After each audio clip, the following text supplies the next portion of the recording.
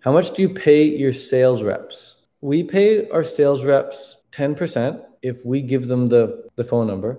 So if the phone number comes in like through us, and if I if I generate the lead, then the rep gets 10% on the close, on the cash collected. And if the rep gets their own lead, like if the rep does the call setting themselves and sends someone a DM on Instagram, gets them to book a call, and then they close them themselves, then they get 15%. So they get a bonus 5% just for setting the call. So, and that's all on, on cash collected. So the, the how much they could make in a month, that totally ranges. Totally ranges on how many people they're closing, how many calls we're getting.